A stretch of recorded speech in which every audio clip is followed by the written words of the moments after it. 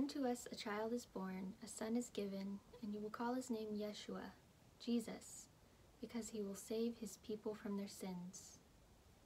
Today is the day that we celebrate the Lord bringing himself into the world as an infant so that he could live as we live, so that he could sacrifice himself and live the perfect life to give that sacrifice that we never could.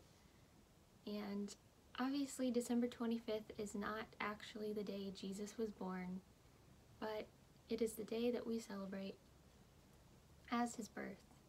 And I know not every Christian celebrates Christmas, but I just wanted to get on here and wish you all a Merry Christmas and say how thankful I am that you are subscribed to this channel.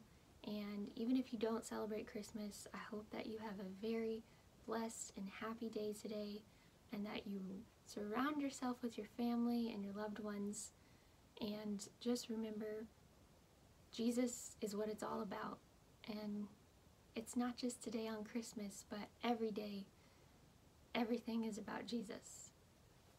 Thank you all for watching, and again, Merry Christmas and have a Happy New Year. Bye.